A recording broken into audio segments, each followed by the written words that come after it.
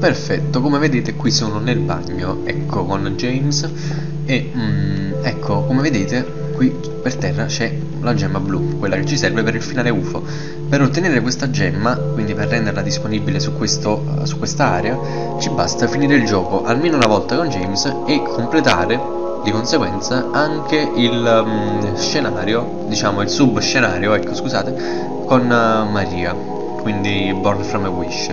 Una volta finiti questi due ci basta cominciare una, una nuova partita e troveremo una gemma qui, quindi la raccolgo subito. Ecco, una gemma azzurra.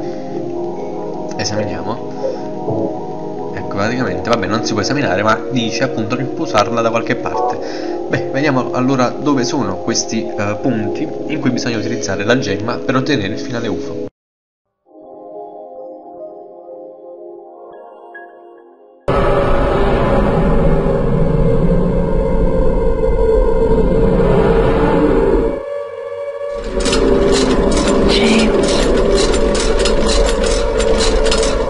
James.